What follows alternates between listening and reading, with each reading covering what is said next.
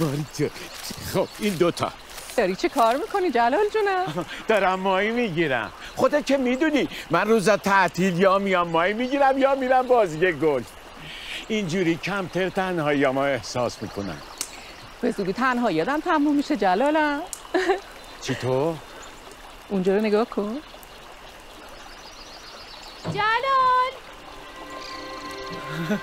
جلال! من اومدم. وای خدا! نیشم باز شد. آ چرا نیشده بستی؟ آخه تو نگران نباش من راضیم. من راضیم. من راضیم. من راضیم جلال من راضیم. مونا!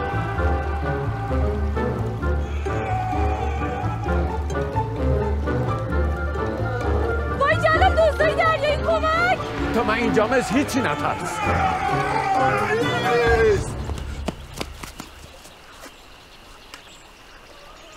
اونجان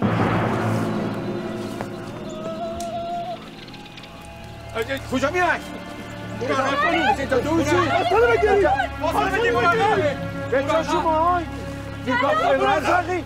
بابا. مگه نشیدی مامانت گو راضیه من شهرام نیستم من هوکم این از یک کسوانو رزاقی نیست. من جان سیلور خوشبختم.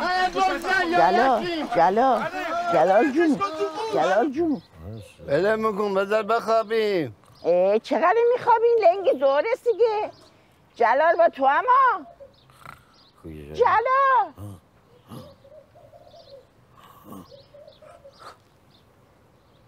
امه همه. خواب می‌دیدی؟ آره. چه خوابی می‌دیدم.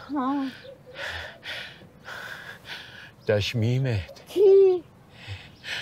مونا. مونا توی قایق بود. خب. داشت میمد مستقیم به سمت من. خواب خیالی یه تموم شد جلال جون. دکتره.